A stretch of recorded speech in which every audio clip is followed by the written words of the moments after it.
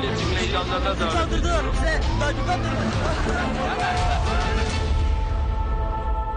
Show Haber'den iyi akşamlar sayın seyirciler. Ankara'da siyaset kulislerini hareketlendiren bir gelişme, daha doğrusu bir randevu başladı az önce. Cumhurbaşkanı Erdoğan Başbakan Yıldırım'la bir araya geldi. Peki sürpriz görüşmenin ayrıntıları neler? Yanıtını Burcu Selçuk Esen'den alacağız. Ee, Burcu gündem referandum olabilir mi?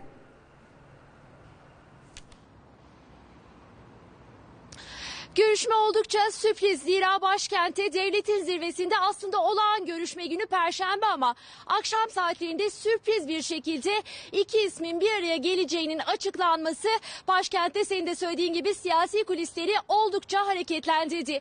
Başkentin aslında sıcak siyasi gündemi yeni anayasa henüz yeni anayasa paketi meclisten Cumhurbaşkanı'nın önüne gönderilmedi. Cumhurbaşkanı Erdoğan henüz o pakete onay vermedi ama gözler bu sürece çevrilmiş durumda. Merak merakla Erdoğan'ın ne zaman o pakete onay vereceği, paketi ne zaman Cumhurbaşkanı'nın önünde olacağı merak ediliyor. Çünkü Erdoğan'ın imzasıyla birlikte aslında referandum takvimi işlemeye başlayacak ve referandum tarihi de bir noktada bir anlamda belli olmuş olacak. Referandum için öne çıkan tarihler aslında 9 Nisan ve 16 Nisan tarihleri. Ancak dediğimiz gibi Erdoğan'ın imzasıyla o süreç başlayacak ve kuşkusuz devletin zirvesindeki o sürpriz görüşmede detaylarıyla hem o takvim takvim hem referandum süreci konuşulacak hem de referandumda sandıkların güvenliğinin nasıl sağlanacağı da ele alınacak kritik başlıklardan biri olacak.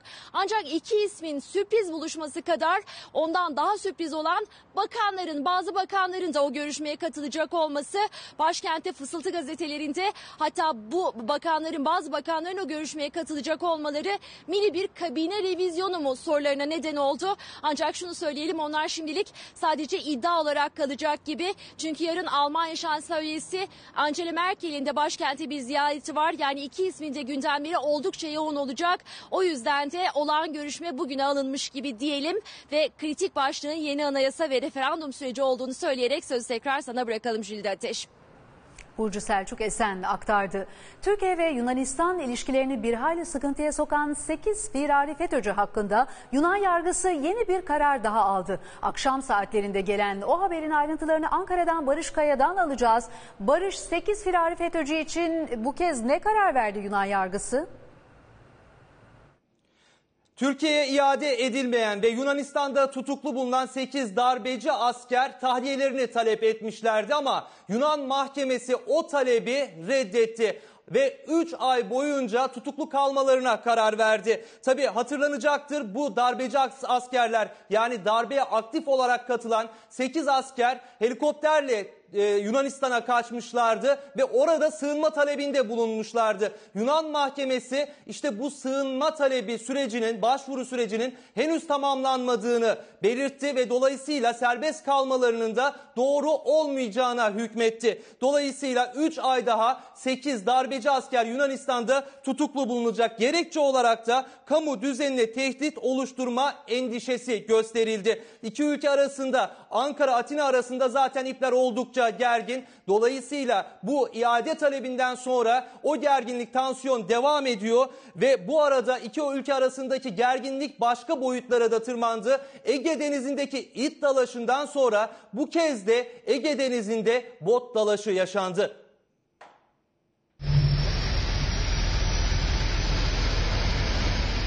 Maşallah, maşallah, maşallah. Ege'de bot dalaşı yaşandı. Türk-Yunan botları karşı karşıya geldi. Havadan sonra denizde de bir ilk yaşandı. Karda kayalıkları ve ona benzer bir kısım kayalıklar maalesef Yunanistan tarafından suistimal edilmeye çalışılıyor. Genelkurmay Başkanı'nın savaş gemisine binip hücum botları eşliğinde yaptığı kritik Kardak ziyareti sonrası bu sabah da Yunan Savunma Bakanı bölgedeydi. 21 yıl önce hayatını kaybeden 3 Yunan subay için helikopterden denize çelenk attı. Aslında Genelkurmay Başkanı'nın ziyareti 2016 yılında planlanmıştı ama 15 Temmuz ve Fırat Kalkanı Harekatı o ziyareti geciktirdi. Ben ayrılıyoruz. Kazası belasız. Hepinize hayırlı başarılar diliyorum. Kardak kayalıkları çevresindeki hareketlilik iki gündür sürüyor. Türk timleri bölgeye yaklaşan Yunan sahil güvenlik botlarına böyle müdahale etti.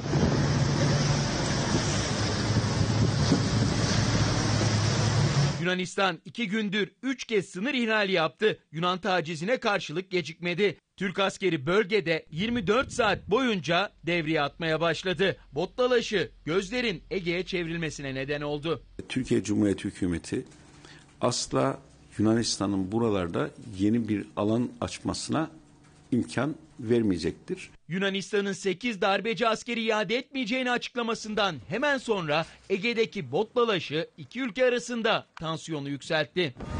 Eee Türkiye'nin gururu bunlar be!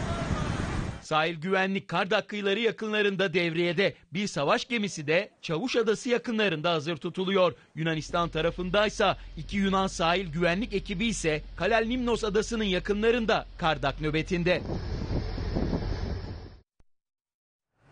Sayın seyirciler İstanbul metrosunda polisler DAEŞ'li bir teröristi yakaladı. Polislerin yaptığı incelemede teröristin örgüt kamplarında eğitim aldığı ortaya çıktı. Elinde silah, üstünde askeri kamuflaj vardı. DAEŞ'li terörist İstanbul'da metro çıkışında yakalandı. Kartal'da metro çıkışında polisler bir genci şüpheli bulup durdurdu. Üstünü aradı. 6 bin lira bir de iki cep telefonu çıktı. O şüpheli ilaç aldığını, Suriye'ye gönderdiğini söyledi polislere. Ekipler onu gözaltına alıp emniyete götürdü. Cep telefonunda terör örgütü DAEŞ'in kamplarında çekilen fotoğraflarını buldu. Örgütle bağlantısı ortaya çıkan DAEŞ'lı kardeşinin de Suriye'de öldürüldüğünü söyledi. Yakalanan teröristin bağlantılarını bulmak için polisler geniş çaplı operasyon başlattı. İçişleri Bakanlığı'nın mavi listesinde yer alan ve 1,5 milyon lira ödülle aranan Adıyaman nüfusuna kayıtlı Muhammed Zana Alkan'ın da Rakka'da öldürüldüğü öne sürüldü. İntihar girişiminde bulunduğu iddia edilen ve 14 Ocak'tan beri yoğun bakımda olan MHP milletvekili Saffet Sancaklı'nın eşi tedavi gördüğü hastanede hayatını kaybetti. MHP Kocaeli Milletvekili Saffet Sancaklı'nın eşi Hülya Sancaklı 16 gündür yaşam savaşı verdiği hastanede hayatını kaybetti. Saffet Sancaklı hastanede tahsis edilen özel odada taziyeleri kabul etti. Hülya Sancaklı 14 Ocak'ta intihar girişiminde bulunmuş, yoğun bakıma alınmıştı. Üzücü haber sabah erken saatlerde geldi. Haberin duyulmasıyla Sancaklı ailesinin yakınları ve siyaset dünyası hastaneye akın etti. Teşekkür ederim efendim. Sağ olun. Gün boyu MHP, AK Parti ve CHP'den çok sayıda siyasetçi hem telefonla hem de hastaneye gelerek Sancaklı'ya başsağlığı diledi. Acısını hafifletmek için e, çocuklarına ve kendisine başsağlığı dilemek için geldik. E, aileye sabırlar diliyoruz. Bizim kötü günlerde değil iyi günlerde de birlikteliğimizi korumamız gerekiyor. Bu tür durumlarda e, birlik ve beraberliği e, yansıtmak lazım ve aynı zamanda bu hem bir dini görevimiz hem bir örf adetimizin gereği. Sancaklı'nın cenazesi yarın öğle vakti Fatih Camisi'nde kılınacak cenaze namazının ardından Küçükköy köy içi mezarlığına defnedilecek. CHP'li Elif Doğan Türkmen'in haberleşme faturası Türkiye'nin en çok konuştuğu konulardan biri. Kılıçdaroğlu da yapılan etik değil diyerek tepki gösterdi Türkmen'e. Adana milletvekilinin milyonluk faturası meclis başkanlığını da harekete geçirdi. Vekillerin sınırsız harcamasına makul bir sınır getirilecek. Yapılan etik olarak doğru değil.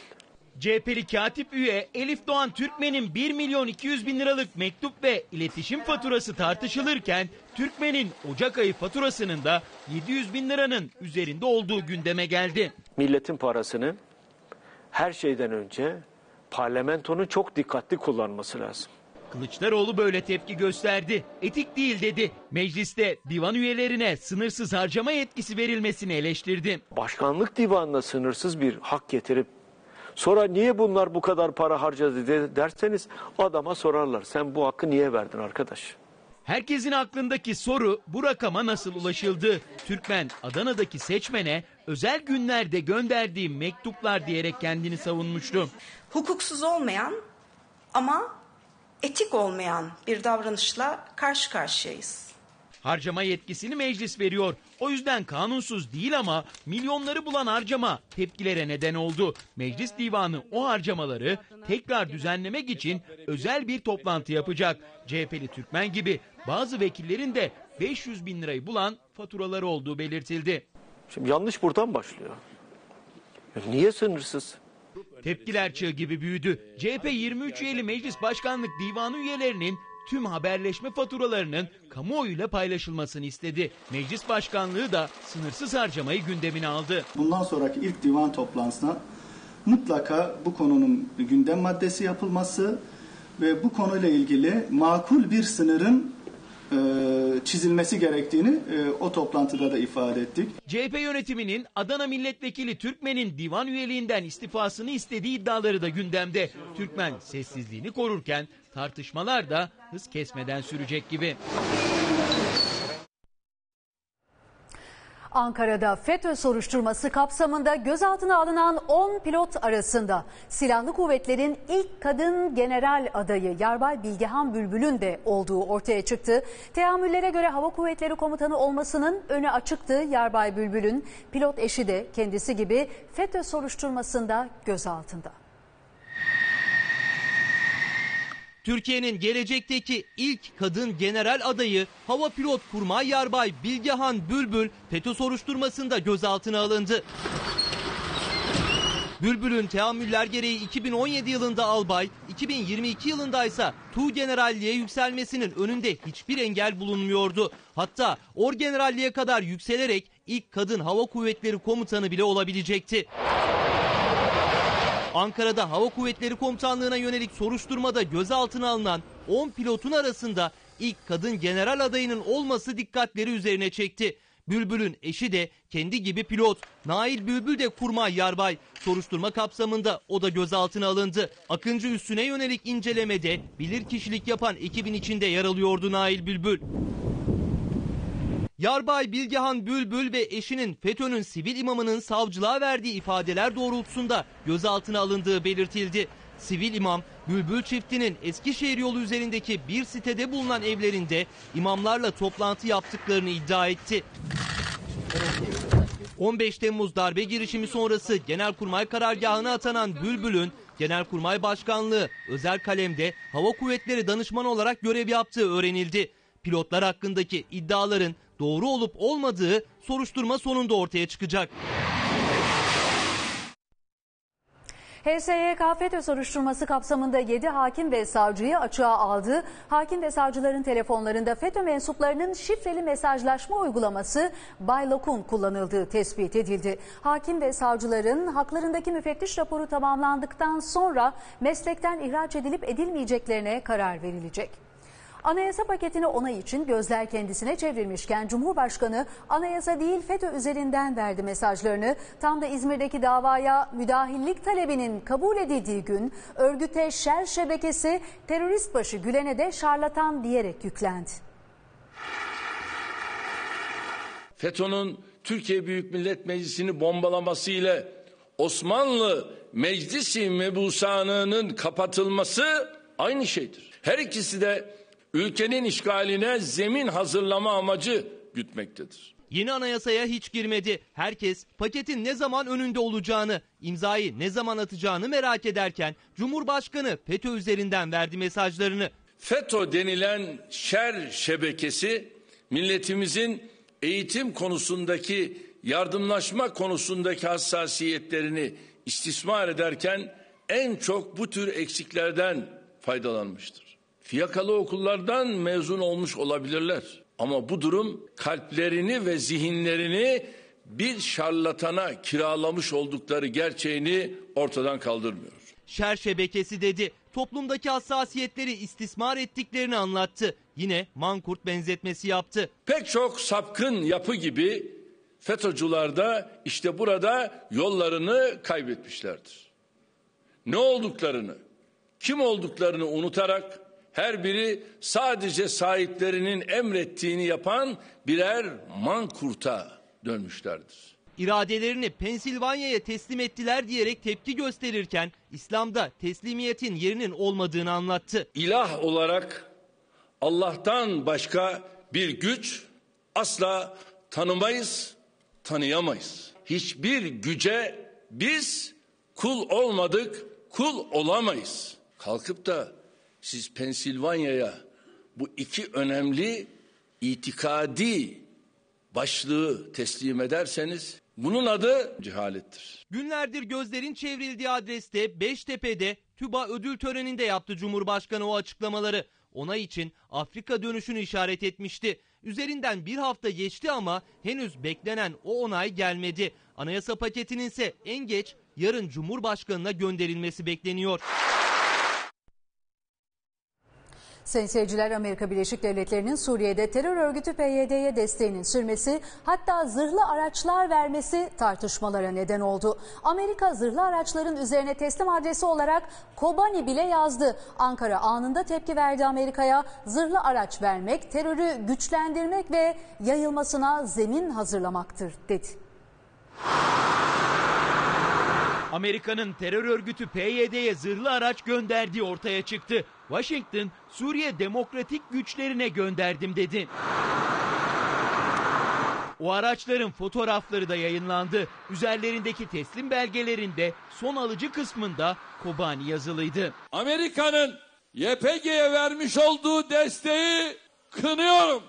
Hafif silah yardımı Obama döneminde yapıldı tartışıldı ama zırhlı araçlar ilk kez Trump döneminde PYD'ye verilmiş oldu. Tüm bunlar dünkü MGK toplantısından sadece birkaç saat önce yaşandı. 8 saat sürdü yılın ilk toplantısı ve MGK açıklamasında isim vermeden hedef Amerika'ydı. Terör örgütlerinin muhatap olarak kabul edilip bu örgütlere çeşitli usullerle silah yardımında bulunulmasının terörün güçlenmesine, yayılmasına zemin hazırlanıyor denildi. Yine Kobani'ye 3 uçak indirdiler. Silahların yarısı DAEŞ'e gitti, yarısı PYD'ye gitti. MGK'da terör başlığı en ağırlıklı konuydu. Hem yurt içi hem de yurt dışında süren terörle mücadele masaya yatırıldı. Türkiye'nin asimetrik saldırılarla karşı karşıya kaldığı vurgulandı. Terörle mücadele kararlılığının altı çizildi. Amerika'nın terör örgütü PYD'ye zırhlı araç yardımı ve ardından gelen MGK açıklaması Ankara-Washington hattında yeni bir tartışmanın başlayacağının göstergesi oldu. Sayın seyirciler Başbakan CHP liderinin dayatmayla anayasa yapamazsınız sözlerine meclisi yok saymaktır, milli iradeyi inkar etmek demektir diyerek tepki gösterdi. Yıldırım Cumhurbaşkanlığı görünümlü başkanlık eleştirilerine cevap verdi. Koltuk sevdasında olsak bu işin peşinde olmayız dedi.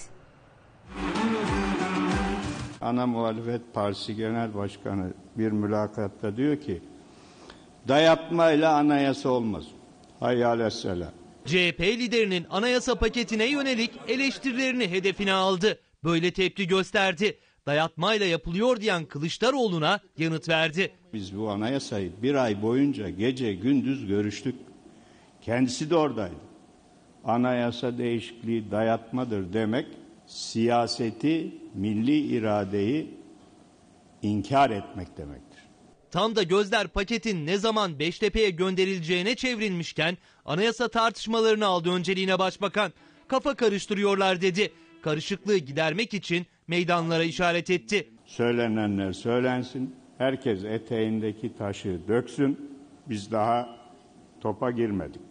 AK Parti 7 Şubat'tan itibaren sahaya inecek ama öncesinde Çankaya Köşkü'nde ağırladı. Sivil toplum örgütlerini anlattı değişikliği. Eğer bunu yapmasak ne olacak? Çift başlılık devam edecek. Koltuk sevdasında olsak biz bu değişikliğin peşinde olmayız.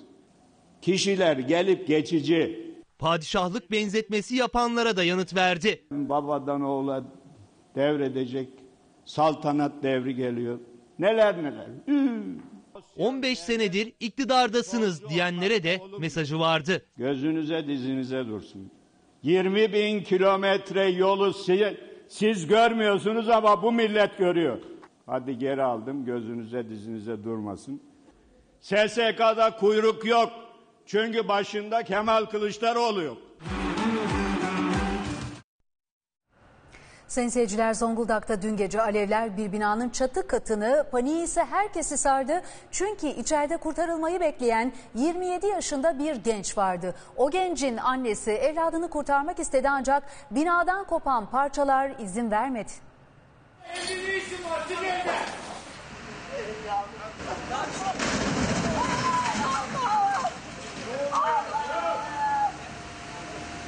İtfaiye alevlere müdahale ediyordu ama onun yüreğindeki yangın için yapacak hiçbir şey yoktu. O alev kapanının içinde oğlu vardı. Yanan binaya girmek, evladını kurtarmak istedi. Ekipler bir taraftan yangına müdahale ederken bir taraftan da yüreği yanan anneyi sakinleştirmeye çalıştı.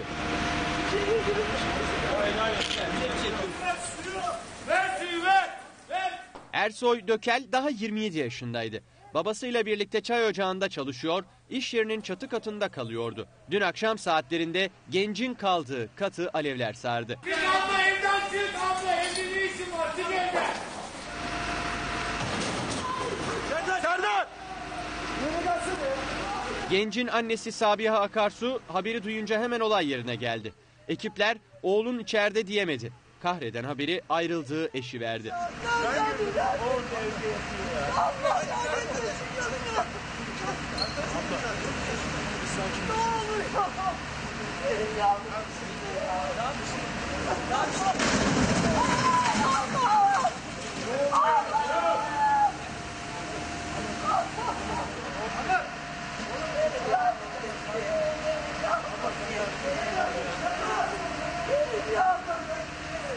Çatı katını saran alevler 2 saat sonra söndürüldü. 27 yaşındaki gencin cansız bedeni bulundu. O ana kadar iyi haber bekleyen kadının dünyası başına yıkıldı. İtfaiye şimdi yangının neden çıktığını araştırıyor. Yağmuru tüfekle vurdu. Bu verilen ceza şaka gibi. Şaka yaparken öldürdüm dedi. Yağmur Önüt'ü av tüfeğiyle vurarak Mahkeme 5 yıl 10 ay ceza verdi. Genç kızın ailesi isyan etti. Az sonra Şov Haber'de. 20 yaşındaki Tuğba Zeybel daha 3 gün önce nişanlandığı ailesiyle akrabalarını ziyarete giden genç kız trafik terörünün kurbanı oldu. Genç kızdan geriye nişan günü çekilen mutlu fotoğrafları kaldı. Üç gün önce mutluluğu gözünden okunuyordu. Sevdiğiyle evlilik yolundaki ilk adımı atmış, nişan yüzüklerini böyle takmışlardı. Hayaller yıkıldı. Bu mutluluk tablosu geride kaldı. Akraba ziyaretinden dönen Tuğba kazada hayatını kaybetti. Tuğba Zeybel 20 yaşındaydı daha. 3 gün önce erkek arkadaşı Ramazan Aydın'la nişanlandı. Genç kızın başında çiçeklerden yaptığı tacı ve yüzünde mutluluğunu anlatan gülümseme vardı. Genç kız dün akşam saatlerinde annesi, babası ve abisiyle akraba ziyaretinden dönüyordu. Bindikleri kamyonet karşı yönden gelen odun yüklü kamyonetle çarpıştı. Sonrası tek kelimeyle faciaydı. Tuğba Zeybel sıkıştığı yerde hayatını kaybetti. Abisi, annesi ve babası ise hastaneye kaldırıldı. Durumu ağır olan Yusuf Zeybel de kurtarılamadı.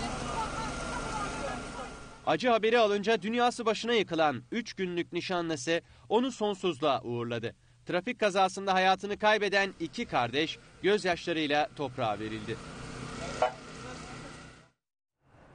Sayın seyirciler Yağmur Önüt erkek arkadaşı tarafından av tüfeğiyle vurularak öldürülmüştü. Müebbet istemiyle açılan davada dün karar duruşması vardı. Yağmur'un annesi kızının katilinin 5 yıl 10 ay hapis cezası aldığını duyduğunda kendini daha fazla tutamadı. İstemiyorum kaç yıl. Sözcükler o anda bitti. Kızını kaybeden anne o anda kızının katilinin aldığı cezayı öğrendi. Bu bir şakaysa eğer bu bizi hiç güldürmedi. Onlar buna gülüyorlarsa bir şaka da bana yapabilirler. Bu verilen ceza şaka gibi. Bi- bize yapıldı bu şaka şimdi. Adalet hukuk sistemi bizde dalga geçti resmen. Olay geçtiğimiz yılın Nisan ayında yaşandı. 21 yaşındaki üniversite öğrencisi Egemen Vardar 20 yaşındaki kız arkadaşı Yağmur Önüt'ü babaannesinin evinde av tüfeğiyle vurdu. Genç kız hayatını kaybetti ve Egemen Vardar ifadesinde şakalaşırken yanlışlıkla vurdum dedi. Üniversite öğrencisi Egemen Vardar hakkında kasten öldürme suçundan müebbet hapis sistemiyle dava açıldı. Ve o dava Bakırköy 9. Ağır Ceza Mahkemesi'nde dün karara bağlandı. Yağmur'un annesi kararı adliyenin bahçesinde öğrendi. Ben istemiyorum kaç yıl verdim. Karar duruşmasında Yağmur Öntü av tüfeğiyle vurarak ölümüne neden olan Egemen Vardar'a son sözleri soruldu. Vardar benim hayat hikayem bitti hakim bey keşke ben ölseydim dedi. 7 yıl hapsi istenen Egemen Vardar'ın hem bu sözleri hem de duruşmalardaki iyi hali göz önünde bulunduruldu ve cezası 7 yıldan 5 yıl onaya düşürüldü. Öyle şey mi olur mahkemedeki tutumu mutumu ağlıyor sızlıyor bilmem ne. Ölmüş silahla ölmüş bu. Trafik kazası değil silahla öl- öldürülmüş yani. O karar en çok da Yağmur Önüt'ün anne ve babasının canını yaktı. Bunun böyle cezası olur mu? Buyurun yattı 9 ay 2 ay bir senede çıkıyor. Hadi güle güle. Nisan 2016'dan beri cezaevinde olduğu için bunun zaten 12 ay yani 10 aylık bir kısmını yatmış oldu. Bu nedenle de 24 ay 2 yıl sonra çıkmış olacak cezaevinden. Kendine bak. Eğer karar onanırsa Yağmur Önüt'ün av tüfeğiyle ölümüne neden olan Egemen Vardar 2019'da tahliye olacak. Ama Yağmur'un ailesi mücadelelerini sürdürmeye kararlı. Bu mücadeleyi biz temize giderek, yargıta giderek her şeklinde vereceğiz. Bu burada bitmeyecek. Sözde papaz tüm köyü dolandırdı. Son numarasında yakayı ele verdi. Emekli doktoru FETÖ'cü diyerek önce ihbar eden sonra da ondan 800 bin lira para talep eden papaz Silivri jandarma ekiplerinin güvenlik kameralarında bulduğu bir ayrıntı sayesinde yakalandı. Üstelik tek mağdurun da emekli doktor olmadığı ortaya çıktı. Birisi e, papazmış herhalde. Hatta bana söylüyordu komutanlarımız papaz falan. Yıllarca kendini papaz olarak tanıttı. Papaz büyüsünü çok iyi bildiğini söyleyerek pek çok kişiyi ağına düşürdü. Bu kez hedefinde emekli bir doktor vardı. Sözde papaz onu FETÖ sempatizanı olarak gösterip sonra da 800 bin lirasını aldı. Bize karşı suç işleyenleri bağışladığımız gibi sen de bizim suçlarımızı bağışla. İnternet üzerinde verdiği vaazlarla biliniyordu sözde papaz. Silivri'de de din adamı olarak güven sağladı. Bir emlakçıyla işbirliği içindeydi. Dolandırdığı kişilerden biri de Emre çiftiydi. Alan kişi papaz mıymış? Papaz. Altınları o mu alıyor? O alıyor. O alıyor. Buradan da haber uçuran var ona. Öyle yani buradaki zaten sürekli ömür boyu hayatını sahtekarlıkla ve üçkağıtçılıkla devam ettiren bir insan. Hasan Emre babasının hastaneye kaldırıldığı sırada eşini arkadaşı gibi aradı. Eşinin evdeki ziynet eşyalarına ihtiyacı var. Çok acil götürmeliyiz dedi. Sürekli bizim sesimizi de veriyor arkadan. Benim sesimi de veriyor. O şekilde güven sağlıyor. Evet, evet. İnci setleri vardı. Ne bileyim e, başka böyle gerdanlıklar vardı. Bilezikler vardı. Daha başka değişik değişik ziynet eşyaları vardı. Sahte papaz ve emlakçı sadece onları mağdur etmedi. Yine Silivri'de yalnız yaşayan yaşlı bir çiftçi de gözlerine kestirdiler. Hedeflerinde onların gayrimenkulleri ve birikmiş paraları vardı. Sahte papaz ve sahte emlakçı emekli doktorun Fethullahçı terör örgütüne üye olduğunu iddia ettiği 3 tane mektup hazırladı. Bu mektuplardan birini kaymakamlığa, diğerini emniyet müdürlüğüne, bir diğerini ise bir caminin avlusuna gitti ve o caminin avlusuna attı. Önemli olan burada o adamın Fethullahçı terör örgütüne üye olduğu izlenimini vermekti. Bu daha planın başıydı. Papaz kılığındaki dolandırıcı yaşlı adam hakkında FETÖ'cü olduğuna dair yazdığı o mektupları adreslere postaneden yolladı. İşte bu kamera kayıtları da o anlara ait.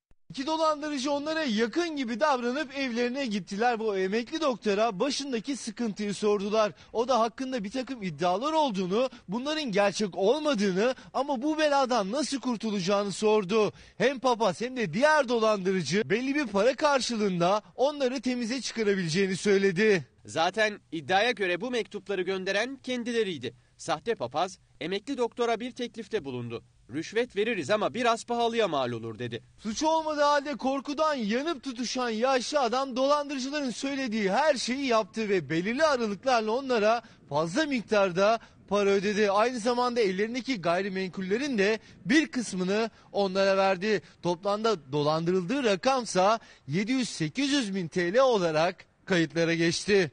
Çiftten aldığı çanta dolusu parayı da evinde saklıyordu sözde papaz. Bu oyun bir süre devam etti. En sonunda emekli doktor dolandırıldığını fark etti ve Silivri jandarma ekiplerine haber verildi. Mektupları gönderen kişinin emekli doktor olmadığı bu sayede ortaya çıktı. Çünkü postanedeki kamera kayıtlarında kendisi değil, onu temize çıkarmak için sürekli ondan rüşvet isteyen sözde papaz vardı. Emekli doktor onu görünce tanıdı. Papaz kılığındaki dolandırıcı ve sözde emlakçı arkadaşı paralarla birlikte yakalandı. İkili tutuklandı. Ömür boyu yatmasını istiyorum ben. Çünkü bir de yani benim dediğim gibi e, maddi olayın bir de manevi yönü var. Antalyalı iş adamının oğlunun vahşi şekilde katledildiği cinayetin sır perdesi kaldırıldı. Katil zanlıları iş adamının yıllardır nakliye işini yapan baba ve oğulları çıktı. İddiaya göre kan donduran cinayet 1 milyon liralık alacak yüzünden işlendi. 30 yaşında as- aslan gibi çocuğu sen nasıl kıyıyorsun? Ne vicdan bu? Alacak verecek davası diye e, hafifletmek, hafifletmek istiyorlar. İş adamının oğlu kaçırıldı, aracı yakıldı. Ardından da cansız bedeni ormanlık alana atıldı. İddia korkunç cinayetin 1 milyonluk alacak verecek meselesi yüzünden işlendiğiydi. Ancak evladı katledilen baba o iddiaları yalanladı. Ha, çocuğumun ne bir 100 lira borcu var, ne bir şeyi var. Ya şu bir kadar bir suç günah olsa Süleyman Erten, Antalyalı seracı iş adamı İsmail Erten'in oğluydu. İki gün önce kaçırıldı. Genç adamı alıkoyanlardan biri babasının yıllardır nakliye işlerini yapan Süleyman Kabakuşak'tı. Kabakuşak iddiaya göre genç adamı kaçırmasının ardından babasını aradı. Kaza geçirdiğini söyledi. İsmail Erten hemen verilen adrese koştu. Oğlunu yerde yatarken değil bir otomobilin bagajında elleri kolları bağlı buldu. İş adamı kurulan pusudan son anda kurtuldu. ikimizi birden öldürecek. Bunlar silahlı ben değilim. Böyle bir pozisyon. İki kişiler orada. Gördük iki kişiler ama işin gerisi kaç kişi? İş adamı kurtuldu ama oğlunu kurtarmayı başaramadı. Hemen jandarmaya gitti. Kaçırdığını iddia ettiği kişilerin isimlerini verdi. Oğlum Süleyman Erten, Süleyman e, Kabakuşak is- isimli bir şahıs tarafından silahlı bir şekilde kaçırıldı. Ekipler hemen harekete geçti. İlk olarak kaçırılan gencin cipini buldu. Ateşe verilmişti. Ardından iddiaların ortasındaki ismi iki çocuk babası Süleyman Kabakuşak'ı gözaltına aldı. Kabakuşak ilk sorgusunda çözüldü. Suçunu itiraf etti. Gösterdiği yerde talihsiz gencin tanınmayacak haldeki bedeni bulundu. Bunları affedersin hayvan desen hayvanlara hakaret olur ya. Evet. Bunlar hayvan bile değil ya. Böyle şey olur mu? Sen nasıl nasıl kıydın? Süleyman Kabakuşak cinayet gerekçesi olarak 1 milyonluk alacağını öne sürdü. Ancak katledilen gencin babası o iddiayı kesin bir şekilde yalanladı. Alacak verecek davası diye e, hafifletmek, hafifletmek istiyorlar. Olay bu değil yani. Benim de e, ortadan kaldırılma planlarına Suçunu itiraf eden adamla birlikte babası Mehmet ve erkek kardeşi Enes Kabakuşak da yardım ve yataklık suçlamasıyla gözaltına alındı. zaten iki araba gitmişler de çocuğu öldürmüşler. Cinayet kurbanı olan genç ise toprağa verildi. Ve sırada bir devlet hastanesinde çekilen skandalın görüntüsü var. Antalya'da bir devlet hastanesinin müdürü morgda ölülerle öz çekim yaparken yakalandı. O müdür hakkında soruşturma başlatıldı. Önce morg dolabının içindeki cesede baktı, ardından da cep telefonunu çıkarttı. Hastane müdürü morgdaki cesetle böyle selfie çekti. O müdür hakkında soruşturma başlatıldı. Adres Antalya Gazi Paşa Devlet Hastanesi. Mali İşler Müdürünü morgda gören görevliler güvenlik kameralarını inceledi. O kayıtlarda morgun kapağını açan müdürün akıl almaz bir şey yaptığı fark edildi. Müdür cenazeyle selfie çekiyordu. Hastane yönetimi bu görüntüler üzerine suç duyurusunda bulundu. Müdür hakkında soruşturma başlatıldı. Polis müdürü ifade için karakola götürdü. Cenazelerle selfie çeken hastane müdürü bu işlemi aksaklık tespiti için yaptığını söyledi. Çektiğim fotoğraflar bu amaçla çekilen fotoğraflardır diyerek kendini savundu. Hastanedeki görevine devam ediyor. Sosyal medya üzerinden yaptığı paylaşımla gündeme gelen Malatya YSK İl Müdürü Gürsel Dursun tepkiler üzerine bugün açığa alındı. Referandumda evet oyu kullanılması için yaptığı paylaşımda Kemal Kılıçdaroğlu'nun başı için evet söylemiyle tartışmalara neden olmuştu. Gürsel Dursun soruşturma tamamlanıncaya kadar görevden el çektirildi. Öğretmen adayları KPSS alan sınavında sınıfta kaldı. Lise matematik öğretmenleri 50 sorunun ortalama 9'unu doğru cevaplayarak sınavın en başarısızları oldu. Sonuçların açıklanmasının ardından gözler öğretmen yetiştiren okullara çevrildi. Bu kez sorular onlara soruldu. Testleri öğretmenler çözdü. Hep onlar not verirdi ama iş not almaya gelince öğretmenler sınıfta kaldı. Bir kükürt 16 geldi. Geçen yıl yapılan KPSS alan bilgisi sınavının sonuçlarıyla çıktı o çarpıcı gerçek ortaya. Öğretmen adaylarının çoğunun sınavda başarısız olduğu, 50 sorunun yarısını bile yapamadıkları belirlendi. Sonuçlara göre en başarısız adaylar lise matematik öğretmeni adayları sınavda 50 soru soruldu. 28 bin matematik öğretmeni adayı o sorulardan sadece 9'unu doğru olarak yanıtlayabildi. Öğrencilerin eğitimine talip olan öğretmenlerin ne kadar yetersiz olduğu o sonuçlarla ortaya kondu. Fizik öğretmenleri 15, kimya öğretmenleri ise 17 soruya doğru yanıt verebildi. En başarılı adaylarsa 50 sorudan ortalama 32'sine doğru yanıt verebilen Türkçe öğretmenleri oldu. Türk dili ve Türkçe üzerine konuşmuş olduğu Öğretmen adaylarının ortalama notları ise eğitimdeki vahim tabloyu daha da pekiştirecek cinsten. İlkokul matematik öğretmenleri 100 üzerinden ancak 34 alırken fen öğretmenleri de 33'te kaldı. Liselerde ders vermeye hazırlanan matematik öğretmenleri ise 100 üzerinden sadece 20 alarak eğitimde çok tartışılacak bir sonuç ortaya koydu. Sonuçların ardından gözler eğitim bilimleri ve fen edebiyat fakültelerine çevrildi. Çünkü devlet okullarında öğretmenlik yapabilmek için o sınava girenlerin pek çoğu bu fakültelerden mezun. Ve o sonuçlara bakılırsa fen edebiyat fakültesi mezunları eğitim fakültesi mezunlarından daha başarılı. Son 15 yılda 29 yeni eğitim fakültesi açıldı. Öğretmen yetiştiren fakülte sayısı 63'ten 92'ye çıktı. Öğrenci sayısı da neredeyse ikiye katlandı. Ama şimdi o fakültelerin niteliği tartışılıyor. Kırılma noktalarında Sayın seyirciler Ankara Demet Evler'de bir lokantaya giren hırsız duvarda asılı olan televizyonu çaldı. Sabah saatlerinde kamera kayıtlarıyla polise giden dükkan sahipleri aldıkları cevapla adeta şoke oldu. Çünkü o hırsız henüz 13 yaşındaydı ve tam 120 suç kaydı vardı.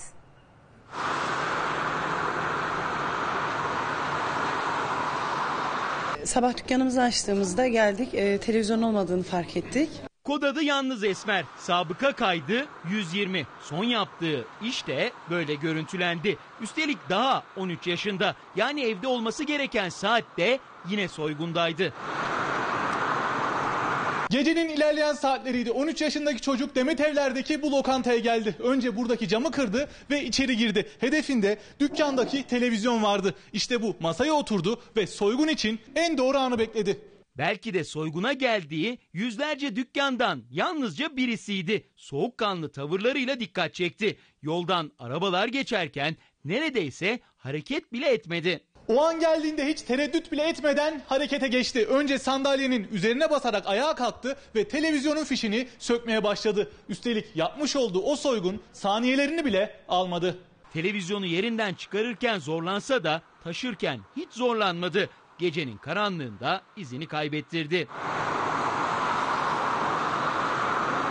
Dükkan sahibi sabah işe geldiğinde fark etti hırsızlığı. Güvenlik kamerası kayıtlarıyla polisin yolunu tuttu. O hırsız polisin yakından tanıdığı biriydi. Polis de e, çocuğu tanıdı. Yalnız Esmer Kod adlı bir çocuk olduğunu söyledi. Ortalama 13-14 yaşlarında bir çocuk. İddialara göre yalnız Esmer Kod adlı çocuk her seferinde yakalansa da mahkemece serbest bırakılıyor ve her yeni gün başka bir yeni hırsızlık yapıyor. Ambulansların her daim geçiş üstünlüğü var ancak bunu umursamayan sürücü faciayı da beraberinde getirdi. Kontrolsüz kavşakta öyle bir kazaya neden oldu ki akıllara durgunluk veren türden. Ambulans hastaneye yetişmeye çalışırken paramparça oldu. Çevirmeye takılan yaşlı adam heyecandan dükkana daldı. Kameralara yansıyan kazalar dudakları uçuklattı. Ambulans şoförü hastanın hayatını kurtarmak için gaza sonuna kadar yüklendi. Geçiş üstünlüğüne güvenip kavşağa girdi ama yandan gelen bu araç yol vermek yerine yoldan çıkardı. İçindeki hasta bir yana, sedye bir yana, ambulans başka yana savruldu. Hasta kadın trafik kazasında can verdi. Bir diğer kaza dikkatsizlikten değil, heyecandan oldu. Polis kural ihlali yapan kamyoneti durdurdu. Yaşlı sürücü memuru görünce ne yapacağını şaşırdı. Zaten duran aracın gazına bastı, dükkana girdi. Neyse ki sürücü de dükkan çalışanları da yaralanmadı. Bizden ayrılmayın. Bültenimiz reklamlardan sonra devam edecek. Telefonla konuşurken, 15 dakika böyle konuşursak yemek yerken kaslar yoruluyor. ya da çay içerken Çayı diye yapmak. yanlış duruş şekli canınızı yakabilir. Hanımlar sizin de eliniz beliniz boynunuz ağrıyabilir. Boynunuzda kalıcı hasar bırakabilir. Az sonra Show Haber'de. Show Haber devam ediyor. Yeni yapılan yolda hiçbir ışıklandırma sistemi yoktu. Karanlıkta sürücüler zor anlar yaşarken bir otomobil tırla çarpıştı. Nişanlı çift ve damadın annesi o kazadan kurtulamadı. Hayatlarının en mutlu gününde 3 ay önce yaptıkları nişanda çekildi bu fotoğraf karesi. Birkaç saat önce yapımı biten yolda ne ışık ne de herhangi bir güvenlik önlemi vardı. İhmaller zinciri nişanlı çifti ve damadın 50 yaşındaki annesini hayattan koparttı. Bir saat önce açılmış bu kavşakta. Bir saat önce açılmış bu kavşak. Zaten eee, çok canlar alır diyorduk hepimiz de. Nitekim de dak- dakika bir gol bir hesabı. Kaza akşam saatlerinde yeni yapılan çevre yolunda meydana geldi. 27 yaşındaki Ferhat Sevinç, 50 yaşındaki annesi Rahime Sevinç ve 3 ay önce nişanlandığı Hatice Emeç'le birlikte otomobildeydi. Herhangi bir ışıklandırma, levha hiçbir şey yok. Yol yeni yapıldığı için hiçbir ışıklandırma yoktu. Nişanlı çiftin bulunduğu araç karşı yönden gelen tırla çarpıştı. Feci kazayı görenler hemen ekiplere haber verdi. 24 yaşındaki Hatice Emeç ve 50 yaşındaki Rahime Sevinç için yapılacak bir şey yoktu. Ferhat Sevinç ise ağır yaralı olarak kaldırıldığı hastanede tüm müdahaleleri rağmen kurtarılamadı. Ölen üçlünün cenazesi otopsi için morga kaldırıldı. Nişanlı çiftten geriye 3 ay önce çektirdikleri bu fotoğraf kaldı. Kazayı yara almadan atlatan tır şoförü ise gözaltına alındı. Sayın seyirciler 22 yaşındaki genç kadının yüzü evlendikten sonra hiç gülmedi. Onu önce pompalı tüfekle ardından da bıçakla yaralayan kocası 3 yıl hapis cezası aldı ancak bir yıl geçmeden serbest kaldı. Daha da kötüsü kendisinden köşe bucak kaçan talihsiz kadının adresini de öğrendi hem de mahkemede. Evime gelebilir, baskın yapabilir, tehdit edebilir.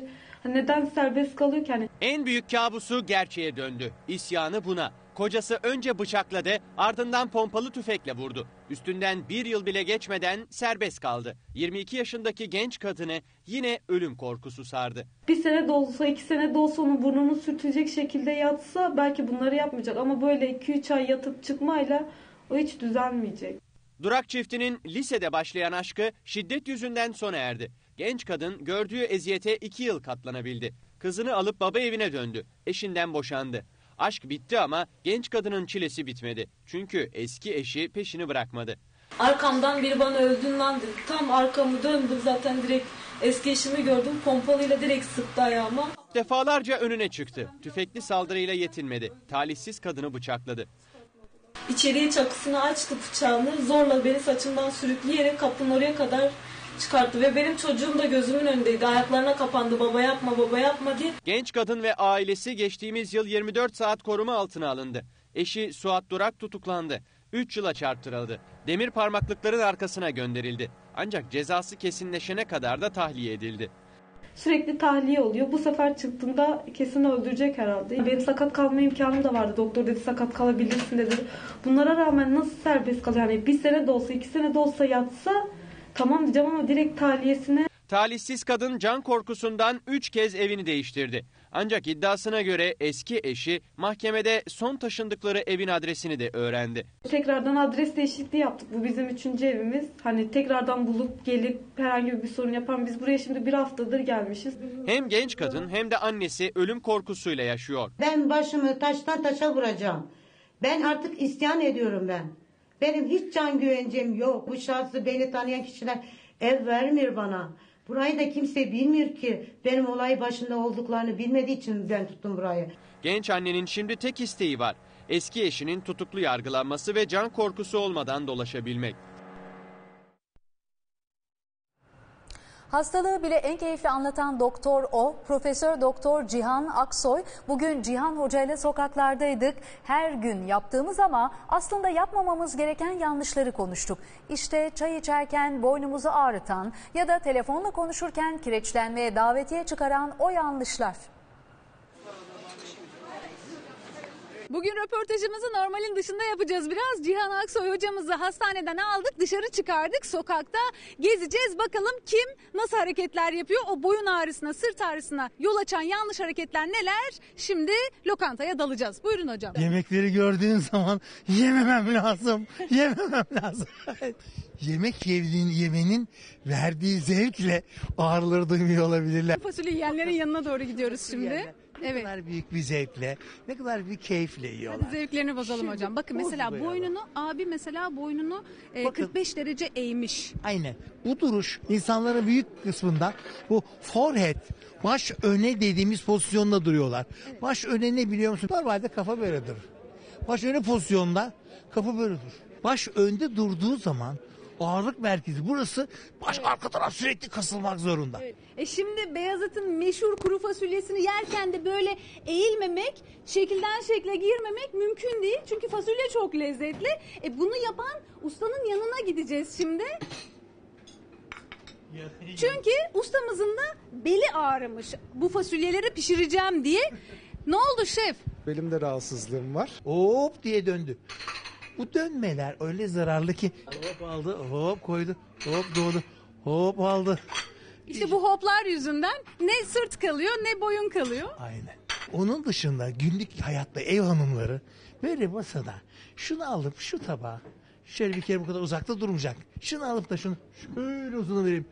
Böyle dönüvereyim derse o kocaman dalyan gibi ustanın bile beli ağrıyorsa hanımlar sizin de eliniz beliniz boyunuz ağrıyabilir. Karın kaslarının güç olması lazım. E Ben koca göbeğimden yoksa bel ağrısı olmadan durabilir miydi? Alttaki kuvvetli kaslarımla pıtır pıtır yürüyorum. Bakalım ne kadar kuvvetli. Bana mısın demiyor Cihan hocamız. getirirsen yalnız daha. Hanımlar sıkın poponuzu önce. Sonra karnınızı sıkın. Hop şöyle bir dönsün. Sonra servise başlayın. Ondan sonra bunda servise başlayın. Afiyet Hiçbir şey olmaz. Boşları götürdüm, doluları getiriyorum. Peki neden çay var elimde? Çay bizim kültürümüzün en önemli parçalarından biri ve çay içerken bile aslında farkına varmıyoruz ama boyun ve sırt ağrıları oluşabiliyor. Önce tabii elimdeki tepsiyi bırakayım çayları dökmeden. Evet, merhabalar. Sürpriz Show Haber'den geldik ansızın. Çayınız bitmiş. Ee, ben de size hemen bardaklarınızın boşaldığını gördüm ve yenisini getirdim şöyle. Afiyet olsun. Nasıl içersiniz çayı normalde? Gösterir misiniz? Evet, şimdi bu boyun ne oldu hocam? Şimdi yine bir 45 derecelik açı olmasa da Bu çayı içerken tabii boynumuzu biraz öne alacağız. Bunda bir şey yok. Ama çay içerken ki bu geçici şu hareketleri devamlı hale getirmekle benim derdim. Yoksa çay içerken 3-5 dakika oo, şu yapıvermişiz. Biraz da höpürdetmişiz. efendim bir günde kaç bardak çay içiyorsunuz? Saymadım ama çay tiryakisiyim. O zaman boyun gitti. Şöyle içiyorsunuz, şöyle içiyorsunuz. Halbuki şöyle olmak gerekiyor. Şöyle içiyorsunuz. Nasıl içeceğim? Şöyle biraz daha dik. Siz çok eğiliyorsunuz böyle. Hocamız diyor ki bu yanlış. Doğrusunu bir gösterin efendim. Öğrettim ben size şimdi. Öyle mi? Tabii. Dur ilk defa böyle mi çay içeceğim? Nasıl efendim? Boynunuzda bir rahatlama hissettiniz mi? Gerçekten rahatladım. Uzun süre böyle durma. Şöyle işi- bir şey yaparken hi dişlerin arasında kimseyi çiğneme. Onu içmeyeceğim, bunu içmeyeceğim diye hı, kendini kasıp durma. Bu herkes için zararlı. Keyifle yiyin. Oo şahane bu kadar. Bakayım biraz daha yap. Biraz daha kaldırmaya çalış. Biraz daha. Bu kadarı yok. Bu kadar yeter. Bu kadar isim gıdığım çıkmasın. Özellikle şu kulaklıkları da kullanmadan telefonla bir konuşur musun? Kafa yattı bu tarafa doğru. Biraz yattı hocam. E niye yattı o kafa o tarafa doğru? Ağır mı geldi telefon? Hele bile uzun süre 15 dakika böyle konuşursak ondan sonra bir süre sonra hem bu çene eklemimize sesler mesler gelmeye başlayabiliyor hem de şu kaslarımız geriliyor. Ah senin boynun kireçlenmiş. Ah işte boynunda fıtık var. 35-40 yaşında ne fıtığı olacak? Uzun süre böyle durma bak mutlaka egzersizlerimizi biraz böyle durduysak da şöyle o çok olsun ben şu dertlerimi attırıvereyim şu arkaya deyiverim. Şöyle E, yapın Sibel Hanım. Şöyle Şöyle mi Bakın kendinizi. koyver yanına. Vallahi süper rahat. Rahatladınız mı? Ben rahatladım. Evet hocamla şimdi selfie yapanların yanına gidiyoruz. Artık bu son zamanların en fazla boyun ağrıtan hareketi değil mi hocam? Ama pek güzeldi ya. Deminden beri kaç dakika bitmeyen selfie bu. Böyle yaptık bu iyi. Ha, Burada yukarı- ne oluyor? Hmm, bu tabii. ne oluyor? Doğru. Allah Boyun ha. doğru. Boyun ne kadar geri gitti. Doğru haklısın. Biz boynun geriye doğru gitmesini çok fazla sevmiyoruz. Çünkü boyun geriye doğru gidince o, o beynin arka tarafına giden damarlar boynun arkasından geçiyor ve kafayı atınca onlar sıkışıyor. Baş dönmeleri aniden bayılı vermelerden tutun da oradaki sinirin sıkışmasına kadar birçok münasebesi şey oluyor. Salıverdiğin gıdıkla gözük ne gözüküyorsa benim de göbek gözüküyor. Boş ver gitsin. Bunu gösterir misiniz hocam bize? Şöyle bir tane hep birlikte. Şöyle yapalım. Evet. Buyurun gelin efendim. Hadi hep beraber selfie yapıyoruz. Selfie. Evet. Sosyal medyada bu tuzağa düşmeyin çünkü şimdi de kendini bankacı olarak tanıtan kişiler kol geziyor. Sizin için kredi ayarlayabilirim yalanıyla insanları mağdur ediyor. İşte o tuzağa düşen bir isim Aydın Akbulut deyim yerindeyse midyata pirince giderken evdeki bulgurdan oldu. 100 lira, 300 lira, 1000 lira, 1500 lira istediği paralar. Yeter ki şu parayı masrafları öde, paran hazır. Satın aldığı halı yıkama işletmesine 15 bin lira borcu kaldı. Yana yana para arıyordu. Bankalar kredi vermeyince bankacı olduğunu söyleyen biri onu tuzağa düşürdü. 85 bin lira kredi almaya çalışırken 36 bin lira dolandırıldı. Sosyal medyadan benim gibi belki binlerce, yüz binlerce insanların canını yaktı bankacıyım diyerek. Elime geçen hiçbir şey yok. Giden benden gitti. Aydın Akbulut sosyal medyada dolaşırken birisiyle tanıştı. İddiaya göre o kişi kendisini bankacı olarak tanıttı ve kredi konusunda Aydın Akbulut'a yardım edeceğini söyledi. Daha sonra iyi bir güven kazandırdıktan sonra bakın ona nasıl bir tuzak kurdu. Evet aynen öyle oldu. Ee, bankacıyım diye beni inandırdı. Ee, ve e, benden bir sürü evrak istedi. Ben de bütün evrakları gönderdim. O kişi sosyal medyada bir bankanın logosunu kullanıyor ve kredi verilir başlığıyla insanları iddiaya göre tuzağa düşürüyordu. Sahte bankacı kredinin onaylanabilmesi için Aydın Akbulut'tan sürekli işlem parası istedi. Akbulut 15 bin lira bulabilmek için yola çıktı ama sözde bankacı çok daha fazlasını vaat ediyordu. İddiaya göre Aydın Akbulut'un bankacı sandığı kişi kendisine bir sürü mesaj attı. İşte o mesajlardan birisi de bu. 85 bin liralık kredisinin hazır olduğunu söylemiş sözde bankacı ve bir de o paranın fotoğrafını atmış. 15 bin lira e, kredi çıkacaktı. 30 bin lira da çıkarırız. 60 bin lira da çıkarırız. Hatta 85 bin lira da çıkarırız. Yeter ki şu parayı masrafları öde. Paran hazır. Paranın resmini de bana hazır olan paranın resmini de bana atıyor. Para fotoğraflarını görünce Akbulut umutlandı. Sahte bankacının söylediklerini harfiyen yaptı. Kredi için gerekli ödemeleri de verdiği hesap numarasına yolladı. Bunların hepsi para yani makbuzları elimde 500 lira, 300 lira, 1000 lira, 1500 lira istediği paralar 2000 lira, 3000 lira. Paran hazır. Abi paran çantanda. Para geldi. Abi şu parayı yatırırsan geliyor. Şu parayı yatır ATM'den ATM'ye koşuşturdu beni. O para iddiasına göre bir türlü gelmedi. Aydın Akbulut şimdi savcılığa suç duyurusunda bulunmaya hazırlanıyor. Show Haber iddiaların hedefindeki sözde bankacıyı da aradı.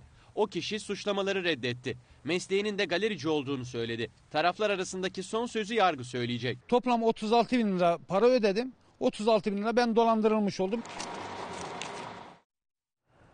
Bu haber biz kadınları yakından ilgilendiriyor. Siz siz olun her uzatılan sözleşmeye imza atmayın. Yolda yürürken güzellik merkezine yönlendirilen kadınlar bu hatayı yaptı. Hizmet alamadıkları gibi kendilerini de icra senetleriyle boğuşurken buldu. İstenmeyen tüyler yerine paraları gitti. Talihsiz kadınlar güzelleşmek isterken dolandırıldı. Mağdurların hepsi epilasyon kampanyası diye imza attı. Hizmet alamamak bir yana gelen haciz ilanlarıyla şok oldu. Sayıları ise günden güne çığ gibi arttı.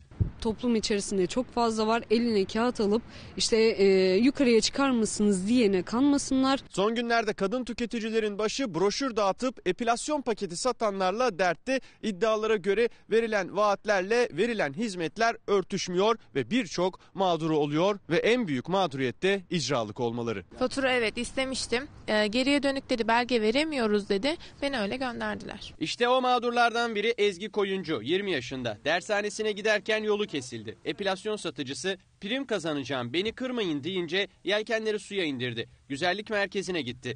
Başta tereddüt etti ama sonunda nereyi gösterirlerse orayı imzaladı. Yardımcı olmak maksatlı çıktım yukarı. Hani böyle anlatıldı anlatıldı anlatıldı. Sözleşmeyi o imzayı attırana kadar size davranışıyla sonraki davranışı o kadar farklı oluyor ki. Taksitlere bölürüz hani yardımcı olur gibi sözler. Ancak 2400 liralık bedel için taksit yerine tek bir senede imza attırıldı. Vazgeçince cayma hakkını da kullanamadı. Epilasyon merkezini çoktan unutmuştu. Aylar sonra evine gelen icra kağıdıyla hatırladı, şok oldu. Sözleşmeyi feshetmek istediğimi söyledim. Bunlar hayır falan dediler. Aramadı, sormadı. Sonra evime icra kağıdı geldi benim. 1350 lira ödedim. 1050 kalıyordu normalde. Avukat falan filan eklemişler. 1867 olması lazımdı. Esengül Bayram da aynı merkezin kurbanlarından. O da 500 liralık senedi imzaladı. İptal etmek istedi ama olmadı. Almadığı hizmet için icralık oldu. 6 taksit dediler ama tek senete imza attılar. E, iptalini yapamıyoruz dediler ve bir sene sonrasında bu şekilde e, mahkeme yoluna girdik. Mağdur ikili tüketici hakem heyetine koştu. Kendileri gibi yüzlerce kişinin olduğunu da böylece öğrendi. Uzmanlarsa hem imza atarken dikkatli olunması konusunda uyardı hem de senetler tüketici kanununa aykırıysa itiraz yolunun açık olduğunu söyledi. Tüketici Kanunu 4. maddesi aynen şöyle der. Senet bono düzenlenecekse sadece nama yazılı yani ciro edilemez. Her bir taksit ödemesi için ayrı ayrı olacak şekilde senet düzenlenebilir. Burada 12 puntodan küçük ve tek bir senet düzenlenerek icraya verilmiş. Üstelik haber bile verilmeden.